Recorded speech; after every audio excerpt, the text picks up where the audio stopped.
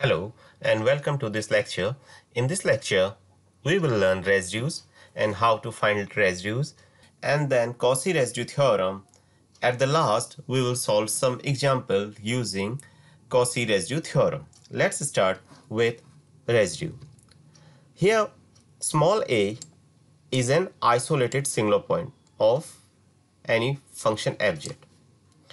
Then residue of fz at z equal to a is denoted by res that big bracket z equal to a big bracket close equal to this is equal to the coefficient of 1 upon z minus a in Laurent series expansion. Coefficient of 1 upon z minus a and that coefficient is b1 and that b1 is nothing but residue.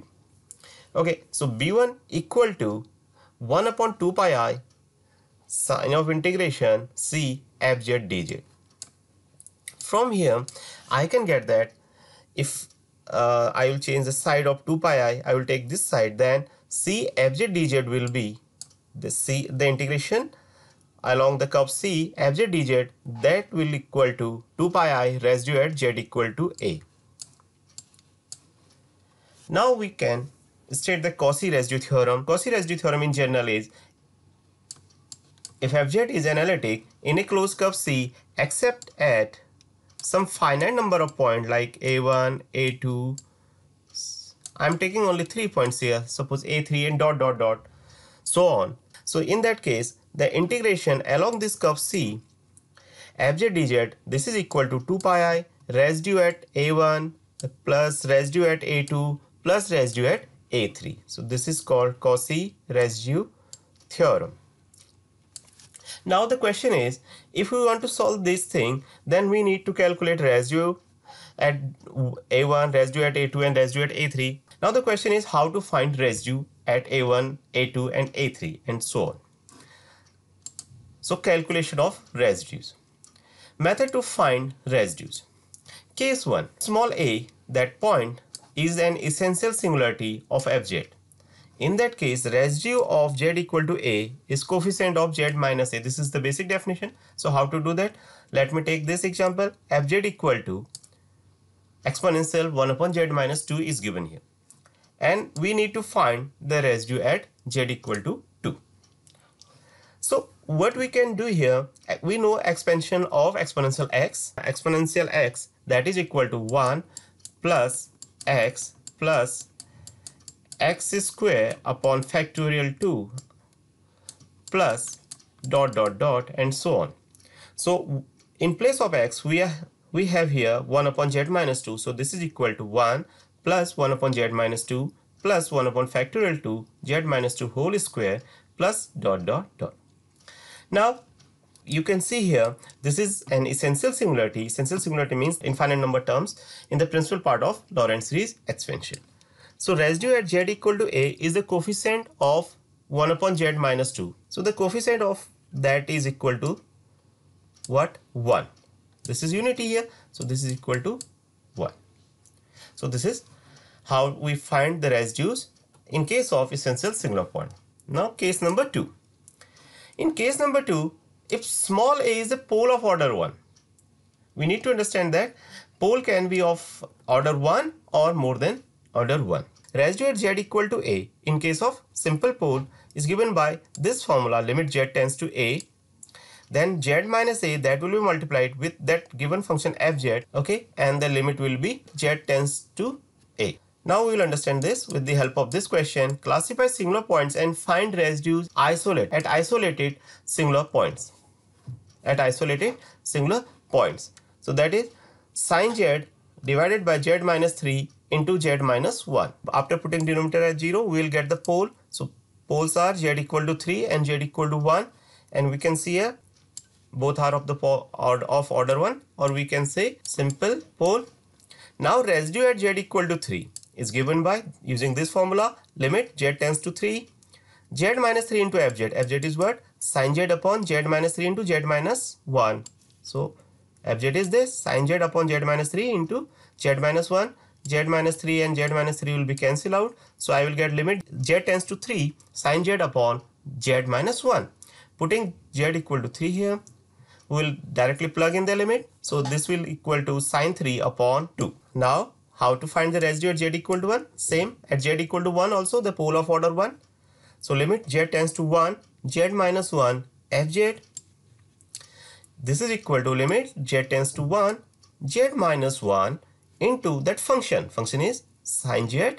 This is the function sine z upon z minus 3 into z minus 1. Here z minus 1 will be cancelled out. Yes, and the, now put limit z tends to 1 sine z upon z minus 3 again I can plug in the limits so sine 1 upon 2 with the negative sign so this is the residue at z equal to 1 for this function now we can go for the case number 3 if a is a pole of order m. Now how to deal with it?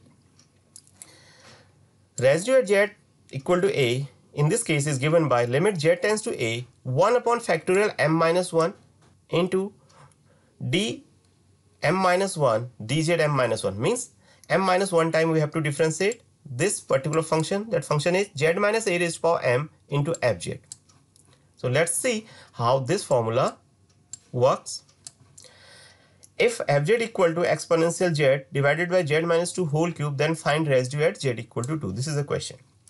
Here you can see that z equal to 2 is a pole of order 3 putting that denominator as 0 so I will get z minus 2 equal to 0 so this is z equal to 2 so this is so pole of order 3 so residue at z equal to 2 equal to limit z tends to 2 1 upon factorial m minus 1 m is 3 here 3 minus 1 d raised to the power m minus 1 3 minus 1 dz 3 minus 1 m is 3 z minus a whole cube into fz. So here you can see that limit z tends to 2 1 upon factorial 2 n upon factorial 2 d2 upon dz2 z minus 2 whole cube into fz. So in the next line fz is exponential z divided by z minus 2 whole cube. Z minus 2 whole cube and z minus 2 whole cube will be cancelled out. Exponential z will differentiate this particular thing twice. So exponential z putting this value z tends to 2 it will be like exponents e square.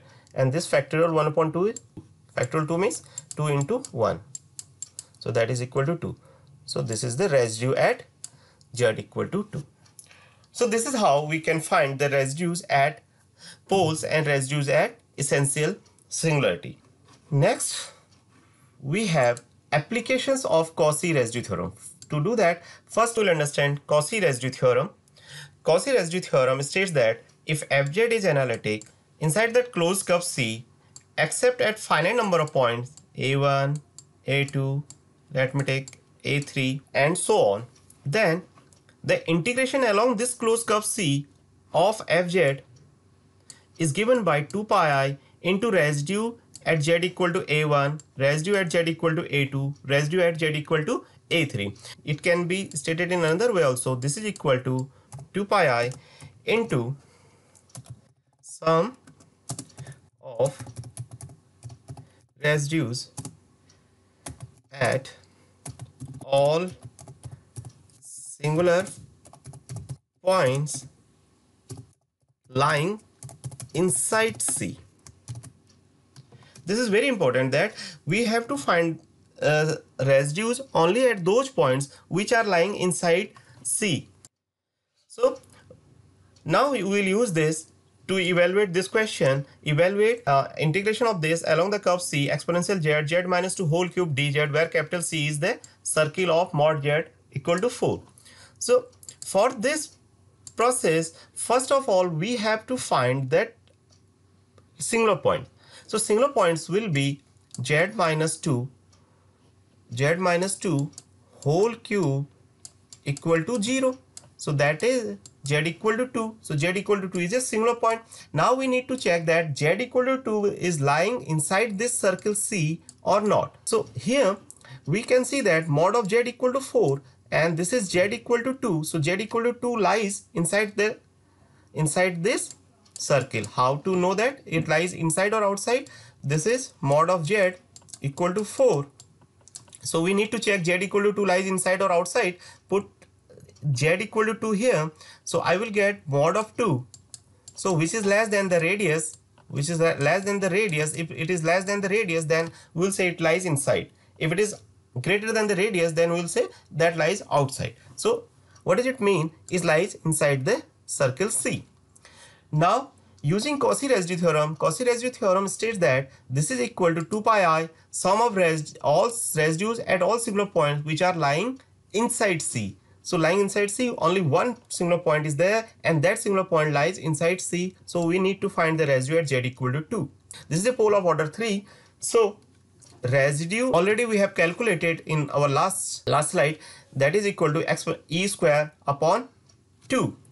So we'll use this directly here. So residue at Z equal to 2 equal to e square by 2. So this integration C fz dz equal to 2 pi i residue at z equal to 2 that is equal to 2 pi i e square upon e square upon 2 so this is equal to pi i e square so this is the final answer next we will solve one more example using Cauchy residue theorem this question is evaluate this particular question in two parts where cap c is a circle mod z equal to 2 and number second the circle mod z equal to 4 we'll solve one by one. So first, sine z upon z minus z minus 1 is not analytic at z equal to 1 and z equal to 3. That is very clear. Now we need to check that are these points lying inside of this circle or outside of this circle? Because we are only concerned of that point which is lying inside this circle. So both are there, both are of order 1 simple pole. For this circle mod z equal to 2 if mod z equal to 2 if we'll put this so we'll get here 1 and which is mod z, z equal to 1 if we'll put here. So which is less than the radius radius is 2 radius is 2 so this point lies inside that circle. And what about this? Z equal to 3 if we'll put z equal to 3 so 3 which is greater than the radius so this lies outside. So this is outside z equal to 3 and this is inside. So z equal to 1 is inside.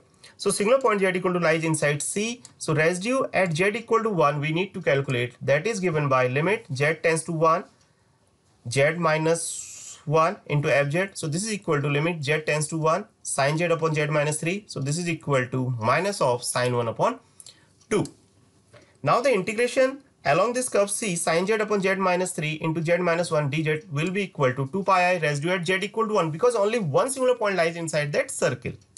So 2 pi minus 2 pi i sine 1 upon 2, this is equal to minus pi i into sine 1. So this is the answer of the first part. What about the second part? In second part, if you can see that the both the point, both the singular point will lie inside that circle C so we need to calculate residue at both both the point. This is the residue at z equal to 1. Similarly, we have to calculate the residue at z equal to 3 as well. And then we will use Cauchy residue theorem and the you try it your own and the final answer should be equal to this. Okay, I hope now you understand how to use Cauchy residue theorem. Thank you. Keep practicing.